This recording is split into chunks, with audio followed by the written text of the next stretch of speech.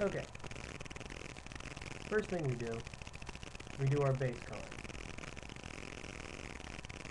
Make it cream, cream, powder, oil, grease, whatever have you as your, as your preferred medium for makeup. Doesn't matter. Me personally, I like powder, but this one comes with cream, so we'll see how this works. Also, if you notice, I comb back her hair and put clips in to make sure that her hair stays out of the face because her hair, like pretty much anyone else's hair, is going to have this same problem. So once it's in the hair, it looks very cheap and flat. So I'm just applying this to my finger because A, I don't have any sponges, unfortunately, and B, cream I tend, tend to sop up into a sponge when that's not exactly what we want with this. You know, we don't want that. As much as Heath Ledger's was great, I don't want to actually go for that. I'm going for more of a traditional Mark Hamill, uh, Cesar Romero style, style Joker. So this isn't going to be just a whole, oh look, all my face is white. No, this is actually going to try and look as normal as possible. Like this is actually her skin tone.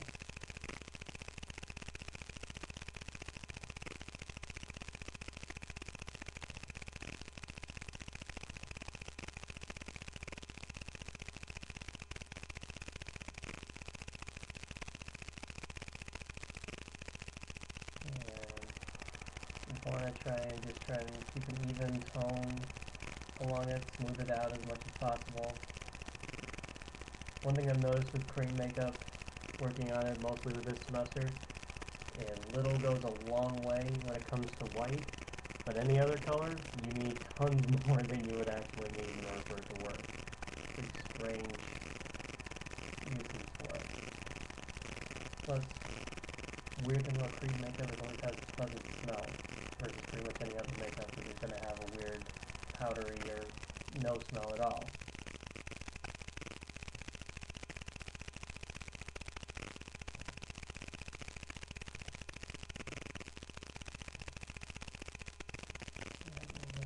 That one.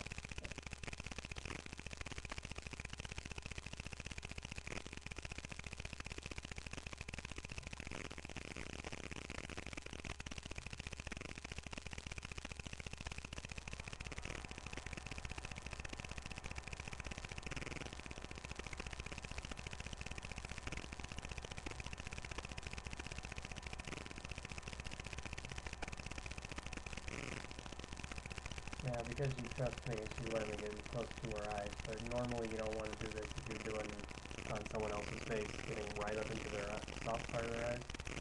It makes someone real uncomfortable.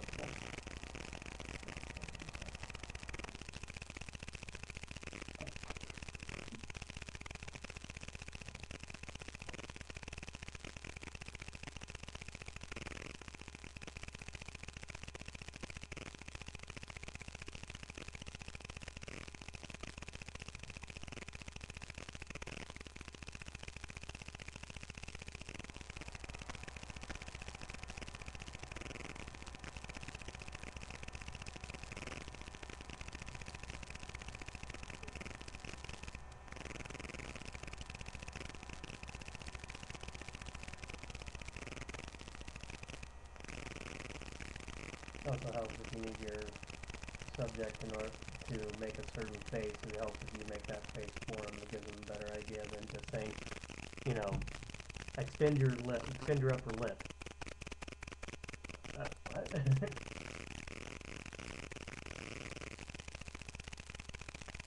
Uh, know, a little bit of this is getting into her hair, but it should be alright. Not too much, mostly her fine hair that's getting in there.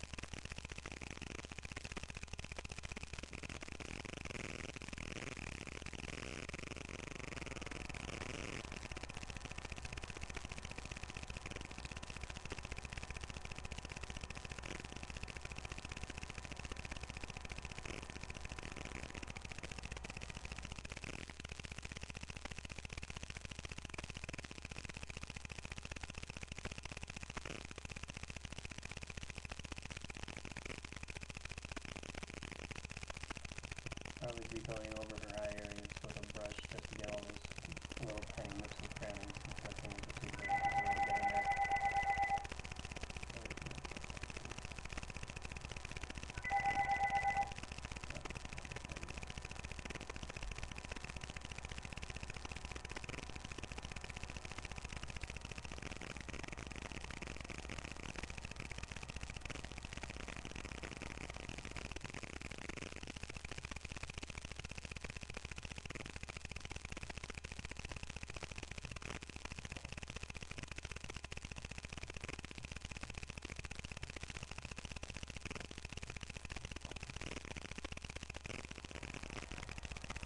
Now some of you may be wondering right now, why am I putting the white makeup over where she's going to be having the face prosthetic?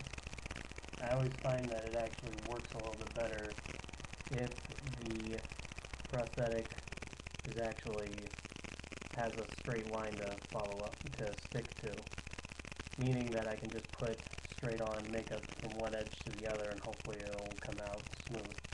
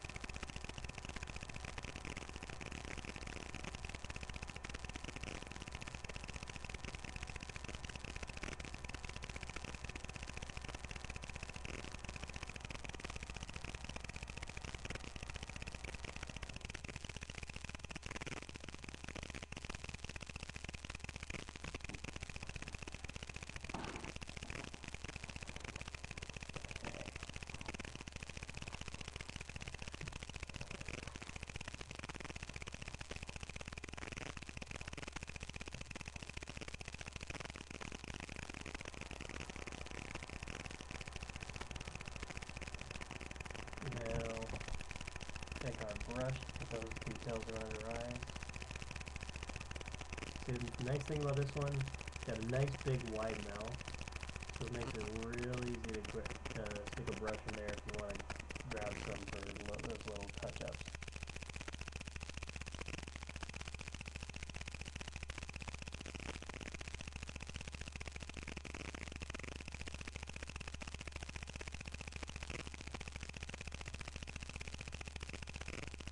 The brush helps you smooth out and finalize any blotchy spots where your fingers may have just rubbed a little too much in.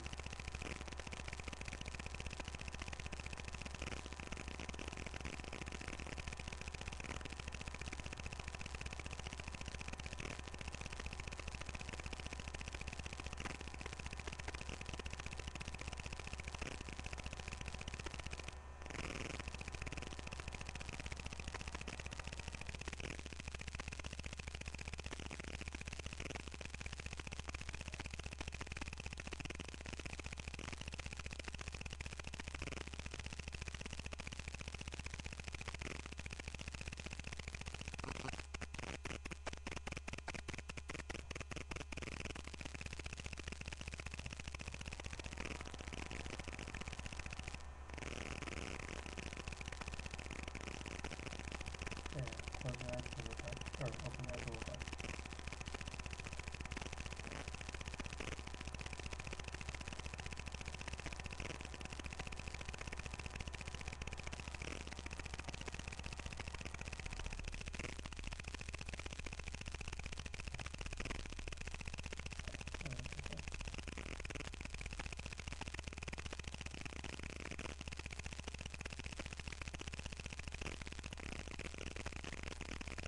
That's the moon.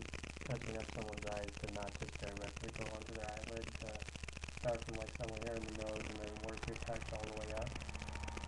Makes it a little more comfortable for the real person.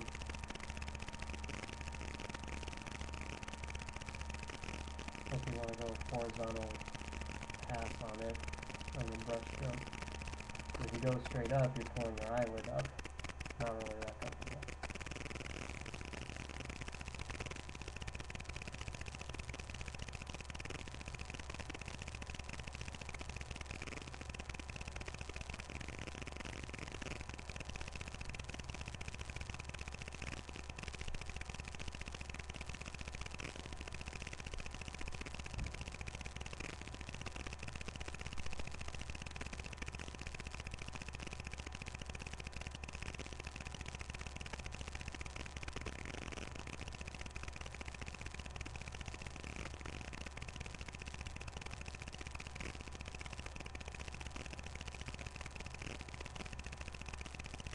Yeah, I can do that. And, yeah, okay.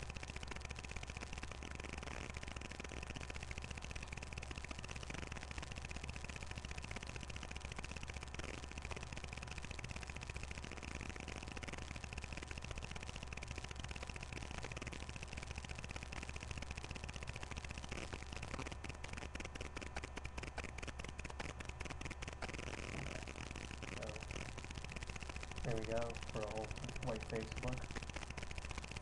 Um, just looking at this already, I'm probably gonna have to get put a little bit of powder on her face and then put another layer on top of it. Just because the powder helps seal everything that's on there right where it is, kind of give it that whitewash primer look, and then you put another layer on and it just looks solid white. So that's it for part one. Part two will be putting on the mouth pieces.